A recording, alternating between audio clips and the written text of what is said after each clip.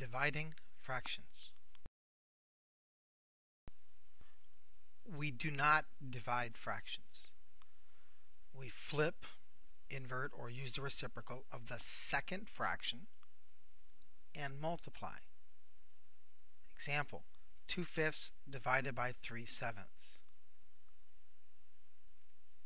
2 fifths is unchanged.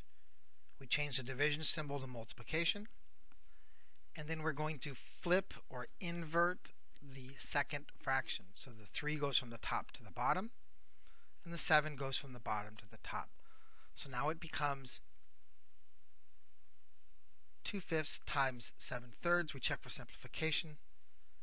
There isn't any, and then we multiply straight across. So 2 times 7 becomes 14. 5 times 3 becomes 15. So 2 fifths divided by 3 sevenths becomes 14 fifteenths.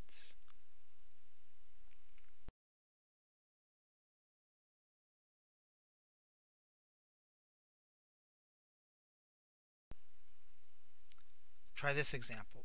4 sevenths divided by 8 thirds. 4 sevenths is unchanged. We change the division symbol of the multiplication we invert the second fraction, so 8 thirds becomes 3 eighths.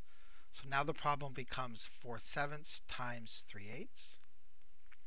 We check for simplification. And in this case, we notice that the 4 and the 8 are both divisible by 4. There is no other simplification, so then we multiply numerator times numerator. 1 times 3 is 3 and then we multiply denominator times denominator. 7 times 2 is 14. So 4 sevenths divided by 8 thirds becomes 3 fourteenths. Now if we'd have done it without simplifying early, 4 sevenths divided by 8 thirds becomes 4 sevenths times 3 eighths. Same process. Multiply the top, we get 12. Multiply the bottom, we get 56. Now we have to reduce. We notice that 4 goes into both. And we are left with 3 fourteenths. So we do not divide fractions. We turn it into a multiplication problem by inverting, flipping, use the reciprocal of the second